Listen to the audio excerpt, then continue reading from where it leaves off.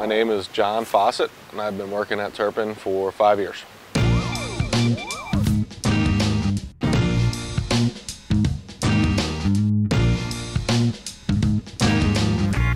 I got into landscaping originally um, through high school and just kind of ended up back into it. I got a job in an office for a while and didn't like being inside, enjoyed the outdoors. What I enjoy the most and most passionate about, it kind of changes through different times. Uh, right now, uh, pools is something I'm trying to really build up and, and get into. Um, really, you know, custom projects. I like doing something different every day.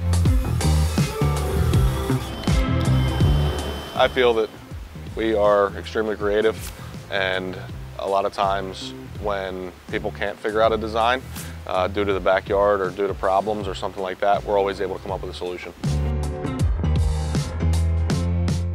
So where I see Turpin going in the next five years is pretty much double what we're doing now as far as volume of work. Uh, where I see myself is having a major part in running the company. What we do better than anyone, I believe, is tying everything together. Different crews run different parts of the business, but at the end of a project, everything comes together. The water feature, the patio, the walls around it, outdoor kitchens, everything ends up tied together nicely at the end and topped off with landscaping.